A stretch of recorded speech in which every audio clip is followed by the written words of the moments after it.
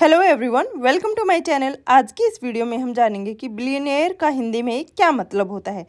तो बिलियनियर का हिंदी मतलब होता है अरबपति।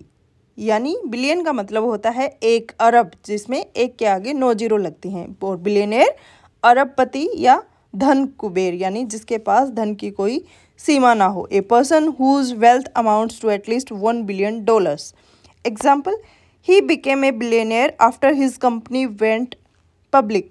उसकी कंपनी सार्वजनिक होने के बाद वह एक अरबपति बन गया। तो इसके साथ इस वीडियो में बस इतना ही। Thank you for watching